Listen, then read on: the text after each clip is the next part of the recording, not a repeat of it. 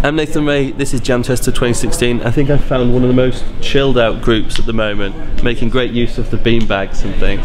A bit too good use of the beanbag for that here. so, uh, who are you and where are you from?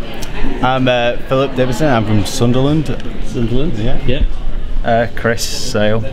Yeah. Uh, Jack Leeds. Leeds. That's you from all over the place. Huh? Uh, well, we all we all live locally in Manchester. Yeah. Um, Should have all just said Manchester. yeah, we should have just said Manchester. and who's this guy down Uh, here? that is Corey, who Yeah. also is.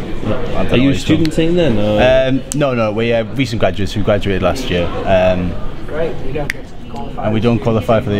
Yeah. To be professional teachers. As you don't, you only qualified for one award then, do you? Is that- We should have just took a masters. And, uh, are you working with the um, with the? Uh, Uh, we are, yeah. Um, we weren't going to, but last minute, the idea we came up fit perfect for the VR. Yeah. So um, now we're doing VR. Even though our programmers never used Windows phones or VR. Um, That's what jams are. that's what jams are for. Yeah, having fun, trying new things. Uh, Chris has got experience with the Oculus though, so um, It's a bit of a crossover there. yeah, yeah. So, um, so what's the idea then? What's the idea of the game? Um, it's basically it's uh, it- it's sort of themed on a guy doing a jump from space, um, and the theme was that you have already won, and the idea was that his feat was already like the most amazing jump ever by a man. Yeah. So he's sort of peaked there and won in terms of that.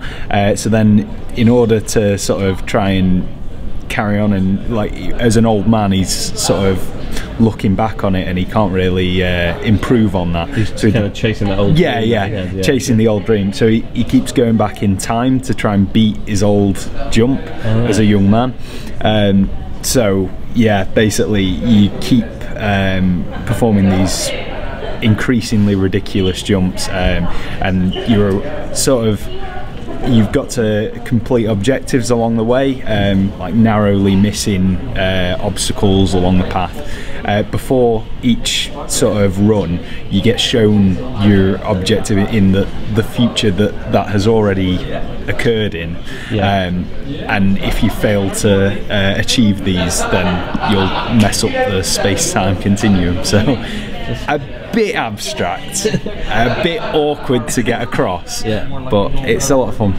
Does it kind of work when you when you put the VR gear on? Then, or have you not got that Sort of, not really.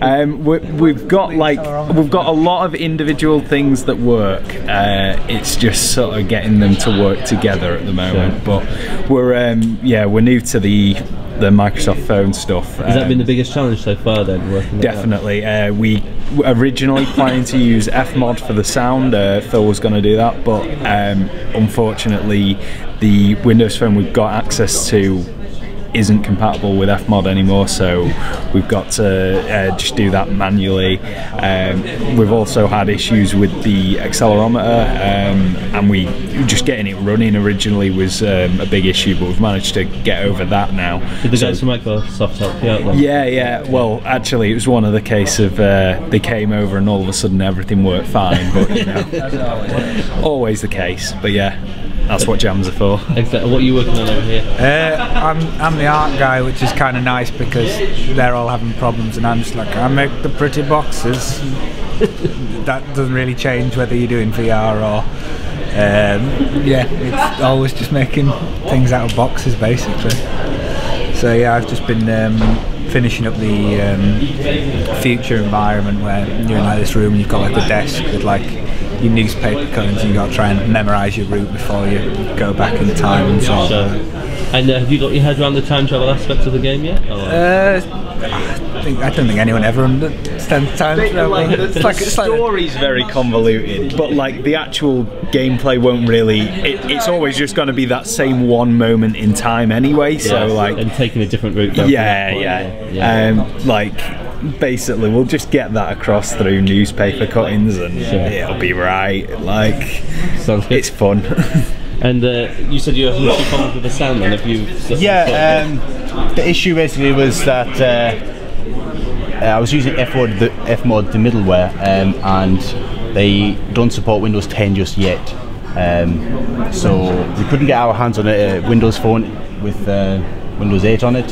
So I'm now just um, putting it direct into Unity, which means I'm having to set up loads of snapshots to fade in between to mix the levels and stuff like that. It's pretty simple. It's just more time consuming than if I use the middleware. Sure. But uh, it's going along. It's right. What's this guy been doing then? What's That's our programmer Right. um, who hasn't slept yet. So he is good when he's awake, but uh, we'll give him a break, you know. He's earned it, definitely. Yeah, he's earned it, definitely. Okay. Yeah, well, he's on the timer. He's only allowed to sleep for so long. Then, Yeah, is that yeah, he's got to lunch. Excellent. Right. Well, thank you, uh, Lobster Tails. Thank you very much. Cheers. Cheers.